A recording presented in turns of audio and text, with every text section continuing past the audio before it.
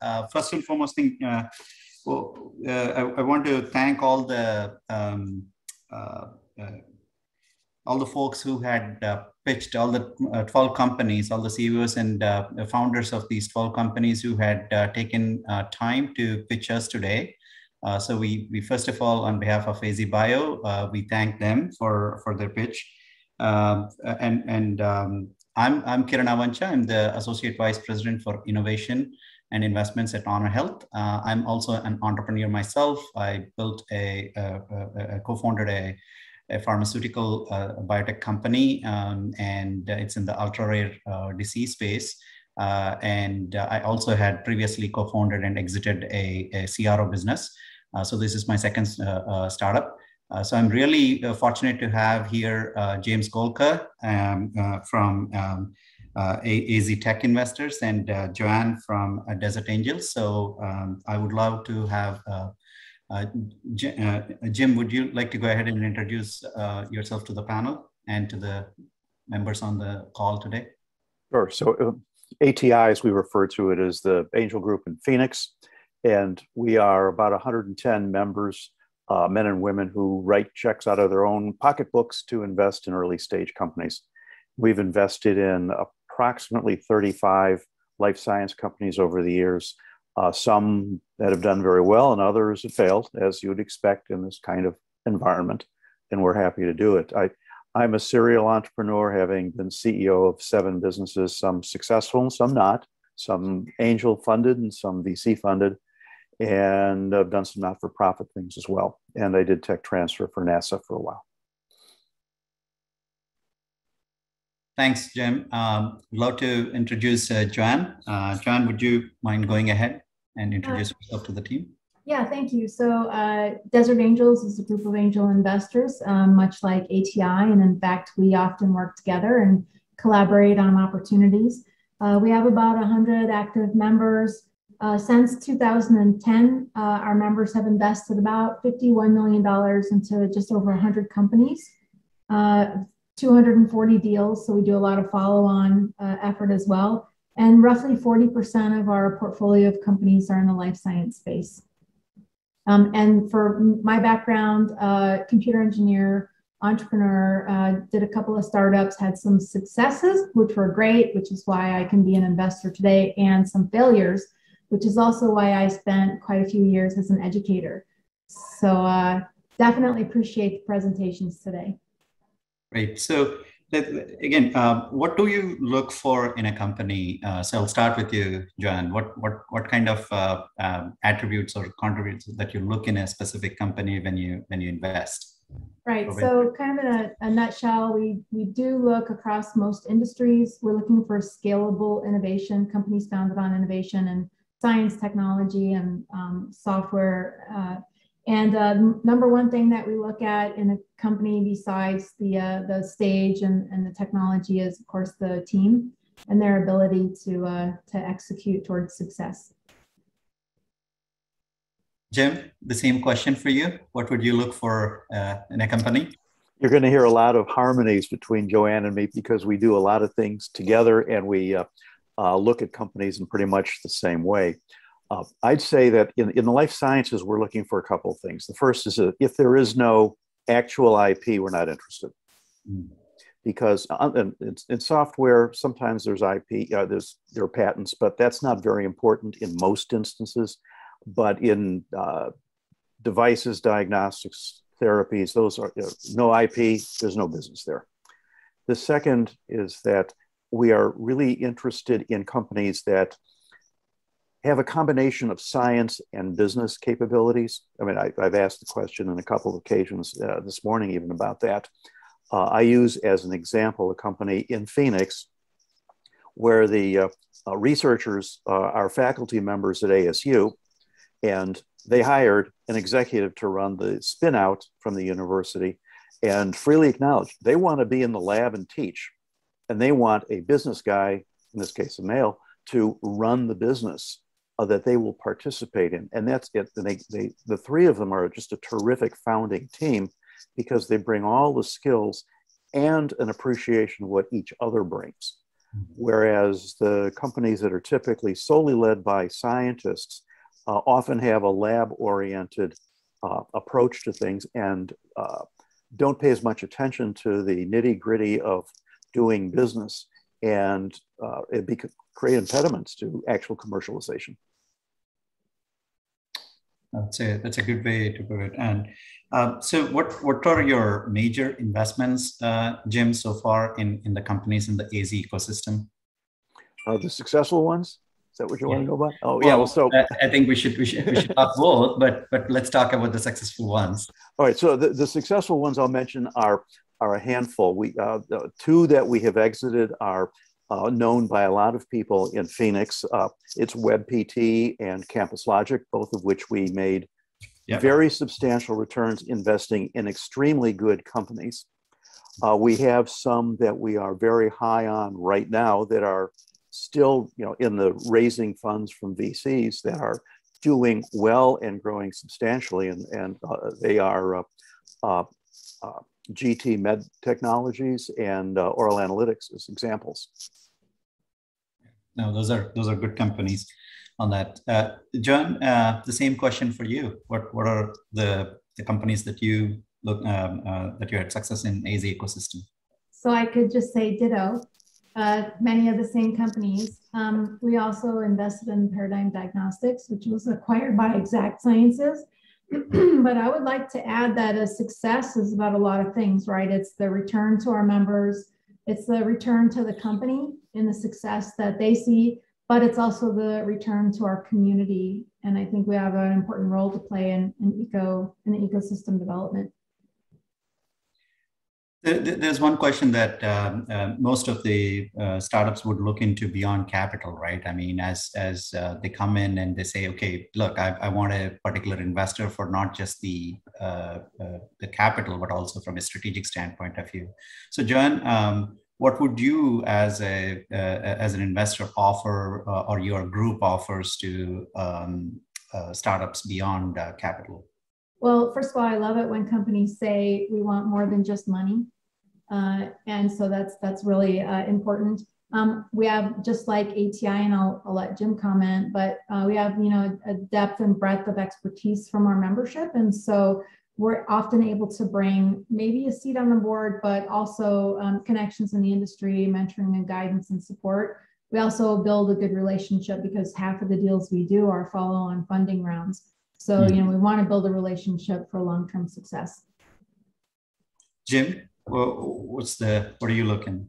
So we start out as, uh, we are in minority investors. We are first and foremost, as Joanne said, probably in her first comment, uh, we're investing in the team. So we're investing in principally the CEO and as well as the rest of the team. And we expect them to be successful.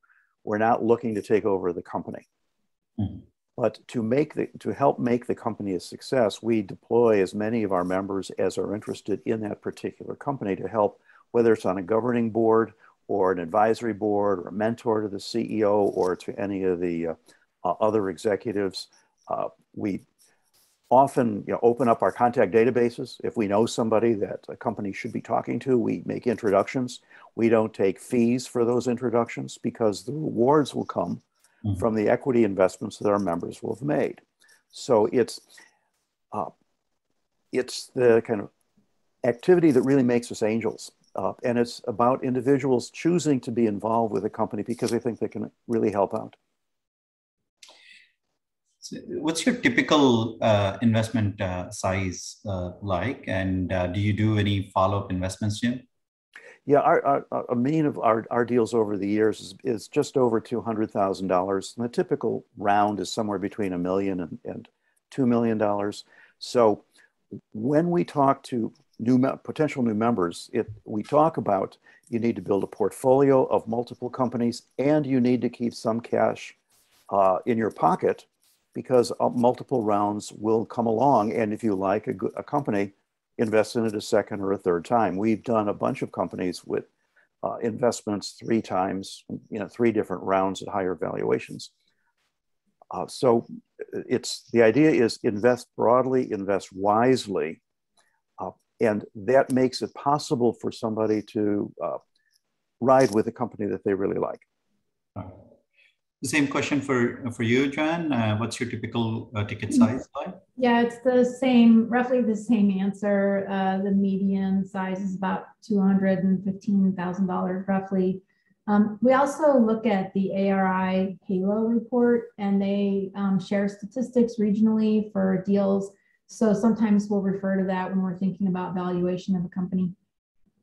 And how many deals do you do typically per year um, uh, as Desert Angels, Joanne? Uh, we'll do on average about 20 deals. We did 20 deals in 2020 and we did 21 deals in 2019. So it's uh, kind of exciting to see that we didn't really have a big change in the number of deals we did despite COVID. Yeah, that's a, that's a quite a number. Jim, the same uh, question for you in terms of the number of deals. Yeah, actually, uh, for a lot of years, we were we did fewer deals per year than Desert Angels. Uh, but last year in 2020, which is our biggest year, we did nine, uh, sorry, 19 deals, which is the largest number of deals we'd ever done. And it was in the COVID year, which I thought was was really interesting. Mm-hmm. And they were split about evenly between new deals and uh, add-ons to uh, uh, prior investments. And this year, we're on a track to do somewhere right around 15. Oh, that's a, that's great. Uh, in terms of the, what's your uh, timeline for doing each uh, deal, uh, Jim? I mean, can you walk us through how long will it take from a company pitching in to how long for closing this company to? So we have to think of it. There's two fa- two major phases here. The first is an application process. We have a wide open mm-hmm. window. Anybody can apply to us, mm-hmm. and anybody does. So I, I touch about 1,500 companies a year Mm. And as you'd expect, most of those don't make any sense for us at all. But we have to get through that process. So our screening, which is what we call our selection process, uh, typically takes about six to eight weeks. Company will submit an application, and we have a formal application. And if it in the early pro- uh, rounds, we I basically I determine whether a company is worth paying attention to.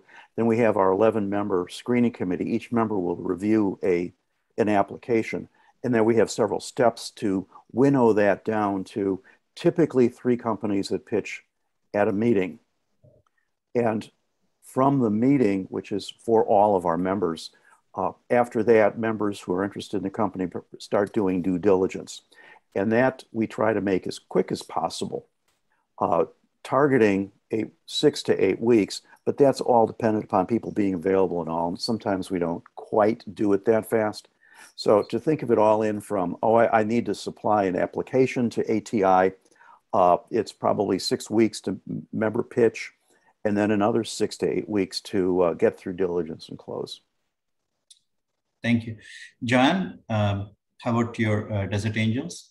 Yeah, so we follow a similar process, and I think a lot of angel groups do something similar with the pretty comprehensive screening and review um, mm-hmm. and the meeting. Uh, but from a time perspective, you know, I'll give you an answer that Base Horner, the chairman of our screening panel, uh, who, who recently retired, he used to say, it really depends on the company. It can, the fastest we've ever gone through the process has been 30 days. And the mm-hmm. longest we've ever been through the process has probably been three years it's a pretty long time to invest yeah. in a company.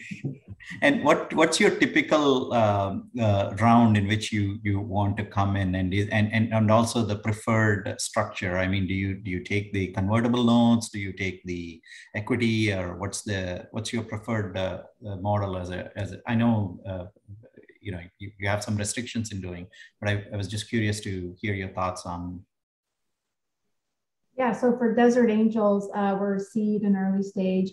We do occasionally Series A. We've recently done Series B, but mostly seed and early stage. We like equity, and we will do convertible notes. Jim? Yeah, we're, we're, we're very much the same in that. Uh, we much prefer preferred stock. Yeah. Uh, convertible notes we do as bridges to a, a preferred stock round. Uh, if a company comes to us with a three year convertible note, they're just dodging valuation, and we don't think that's a smart thing to do, though some lawyers will advise that. Uh, so we'll do convertible notes, but we want them to be shorter, ideally less than a year. Uh, for those that know about these things, we don't do safes or KISSes or any of these exotica because they are very investor unfriendly. Mm-hmm. No, I agree.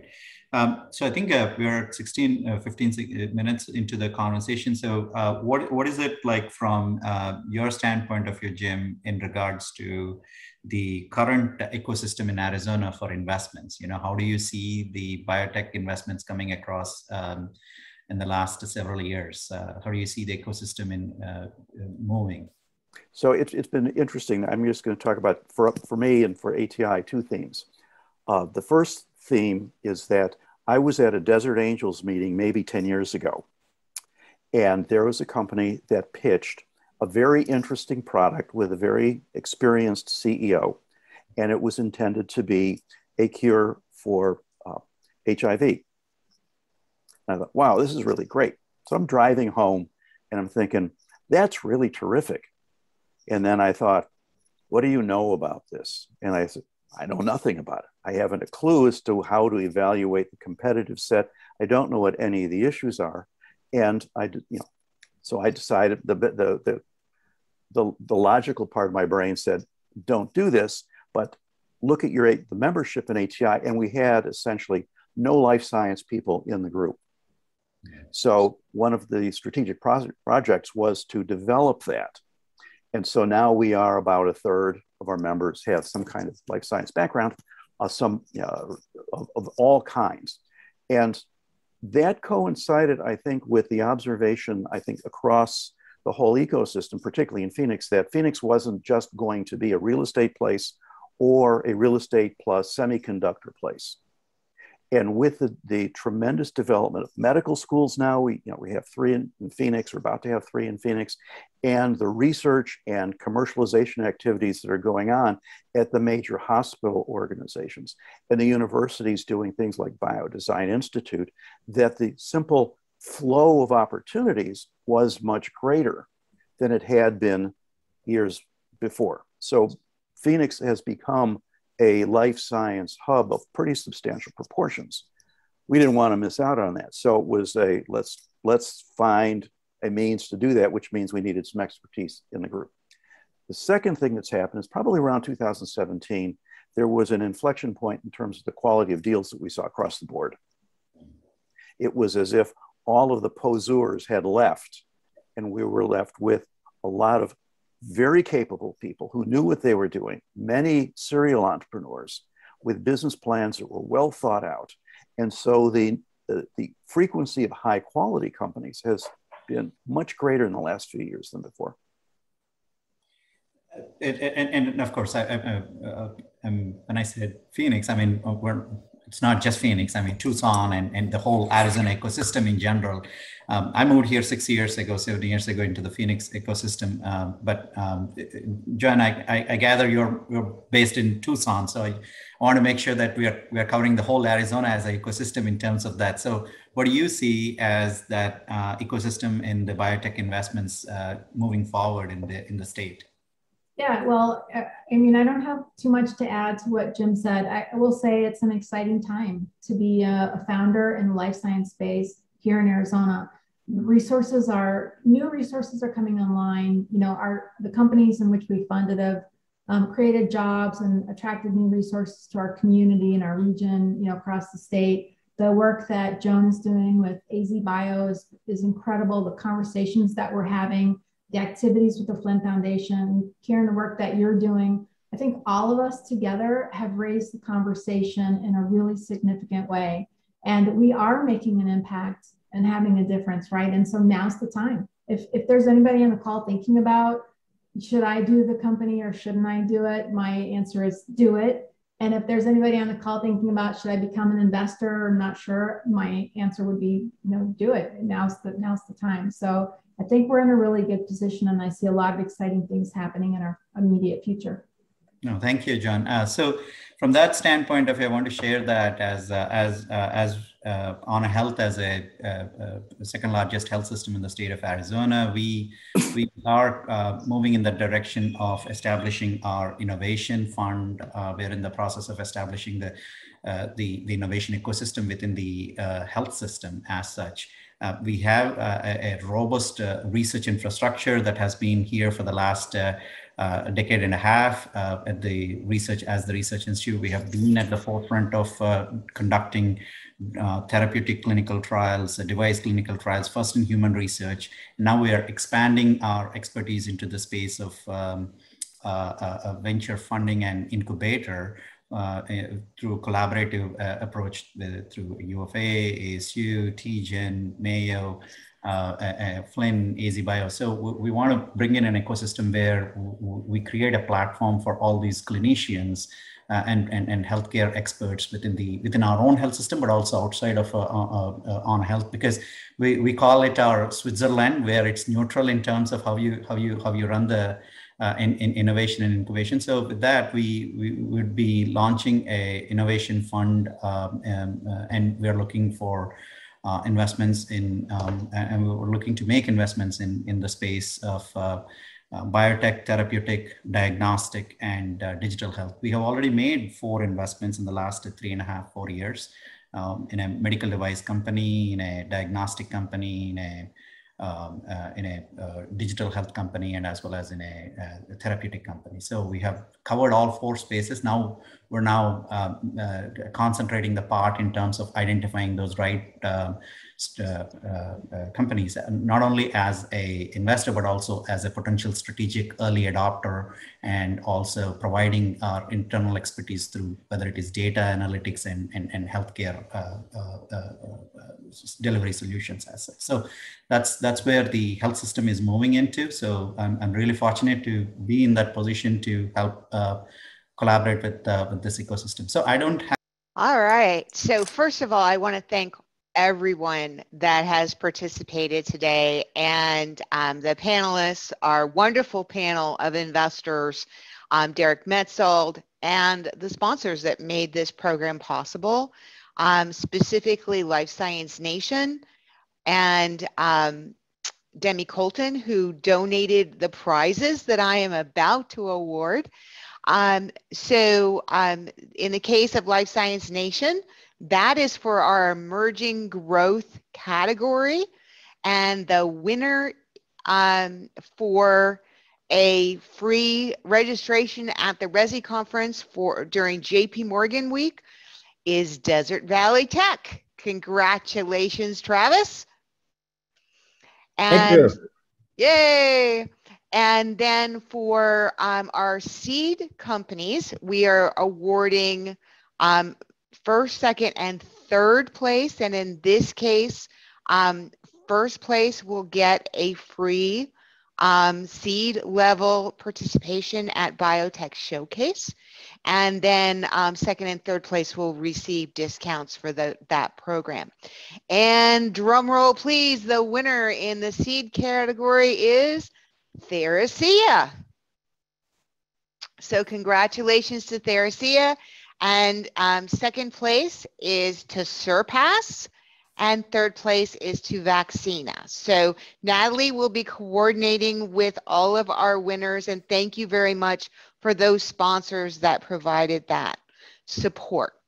Also, um, this program benefits AZ Advances and I want to thank our AZ Advances um, donor sponsors, Castle Biosciences and Brex um, both of which who have made donations to AZ Advances as we continue to work to build an, an ongoing and sustainable flow of early stage capital in Arizona forever.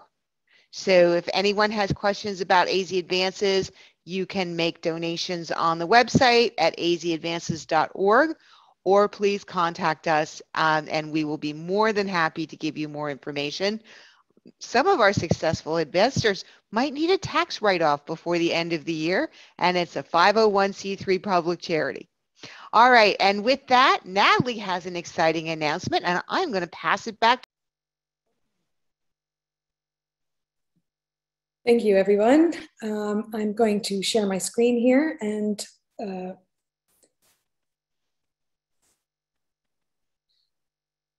to introduce uh, to you uh, the